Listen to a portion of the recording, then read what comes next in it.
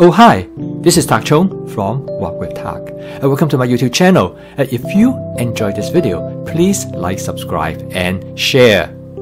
Uh, recently, I received an email from one of the viewers, and uh, his name is David.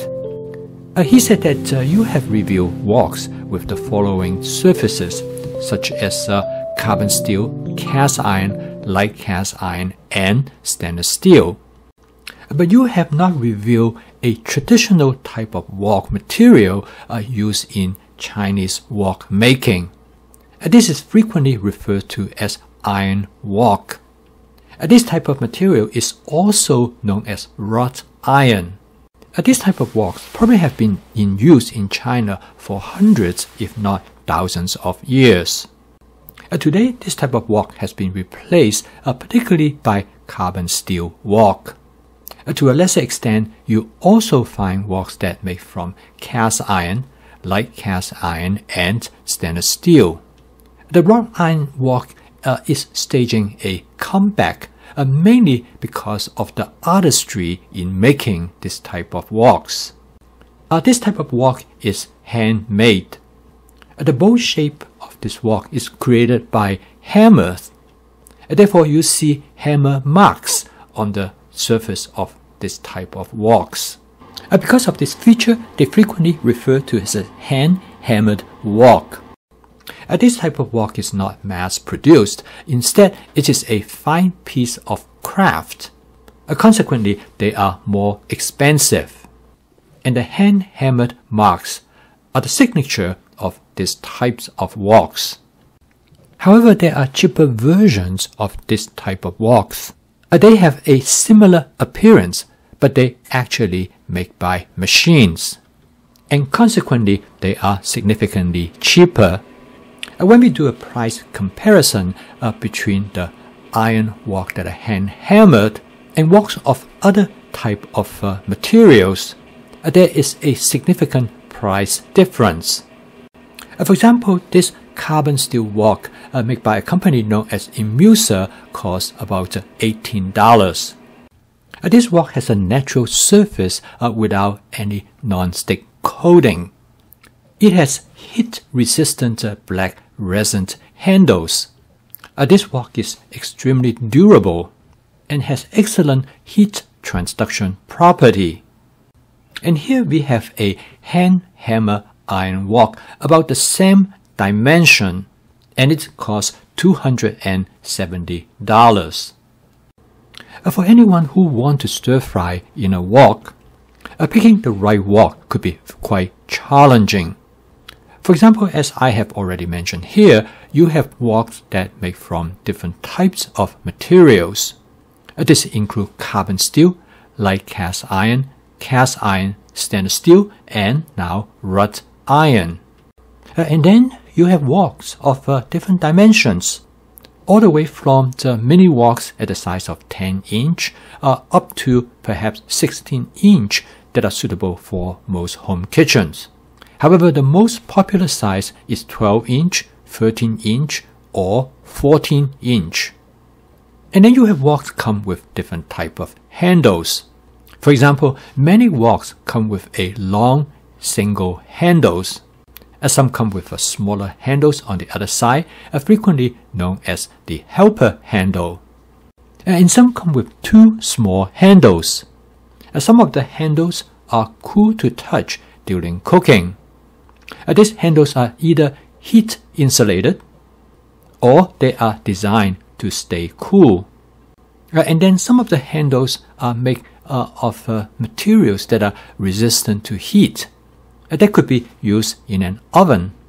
And then you have woks that come with what is known as natural surfaces, without any chemical coatings to create a non-stick cooked surface. Uh, and then you have woks that come with non-stick coatings uh, of different type of materials, all the way from Teflon uh, to ceramic. And then you have woks with different types of bottoms. Uh, the traditional woks have a round configurations. And then you have modern woks that have a flat bottom surface that are suitable for modern kitchen range. So as you can see here, there's almost infinite variations of the woks that you can pick from.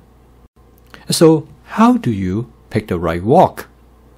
And this could be very confusing and it was true for me in the beginning.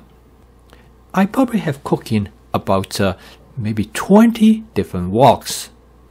And after all this experimentation, try and errors, I have arrived the perfect wok, at least for me. And that is the Cuisinart 14 inch stainless steel wok. I picked this wok based on a set of selection criteria. And some of these criteria might apply to you, but some others might not. I'm going to use the 14 inch Cuisinart stainless steel wok to illustrate this selection criteria so that you can use this criteria to pick the right wok for you. I'm going to list this criteria in the order according to the importance to me, uh, although it might not be to you. However, this will give you an idea how to prioritize this criteria. Uh, the first criteria is that I will always go with a flat bottom wok.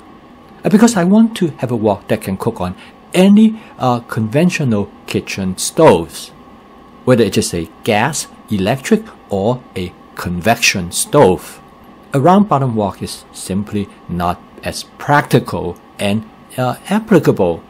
And the second criteria is that I always want a wok uh, without non-stick coating. Uh, in other words, a wok with natural surface so that I could use any type of wok spatula uh, without damaging the surface.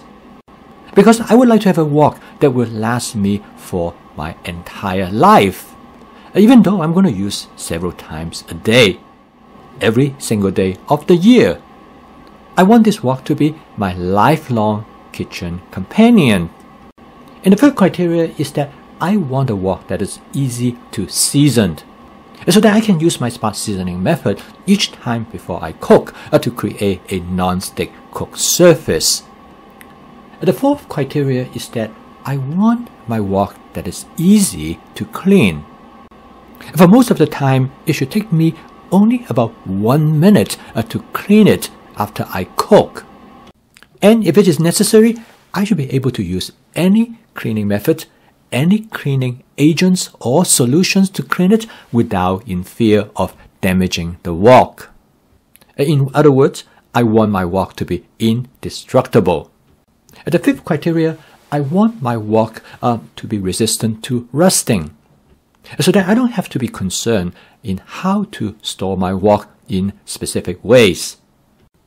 The sixth criteria is that I want my wok to be large enough that I could cook for six people.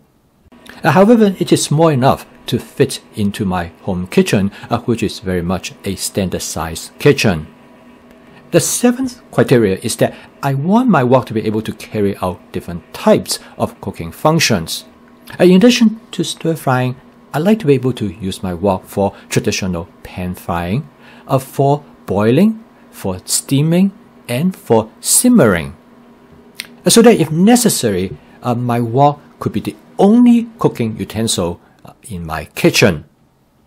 Uh, the eighth criteria is that I will be able to use the wok in the oven if it is necessary. Therefore, I would like to have a wok with all metal constructions. A criteria number nine, I would like to have a wok that have heat insulated handles so that I could easily manage the wok when it is hot. A criteria number 10, I want the wok to be light enough that I can lift it with one hand. Uh, even with modest amount of food ingredients inside the wok.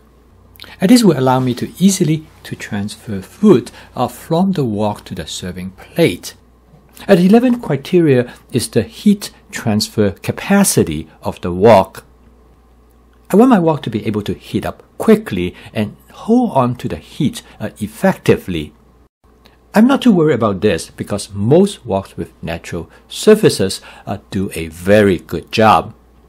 And when I look at this 11 criteria, it turned out that the Cuisinart 14-inch stainless steel wok uh, is the wok of choice for me.